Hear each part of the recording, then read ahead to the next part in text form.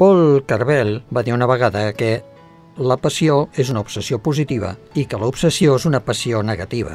Saps que en realitat no és el mateix, però s'hi assemblen tant que pots arribar a aquest joc de paraules. La passió és quan vols algú o alguna cosa tant que estàs disposat a fer el que sigui per tenir-ho o estar amb aquesta persona, però sense perjudicar mai a ningú.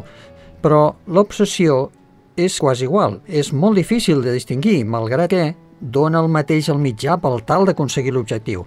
En realitat això és del que ens adverteix la Bíblia, i això és el que ens tindria que fer pensar.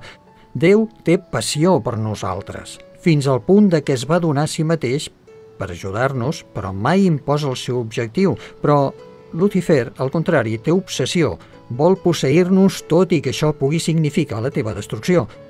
Tu què és el que tens, passió o obsessió, inclús per Déu?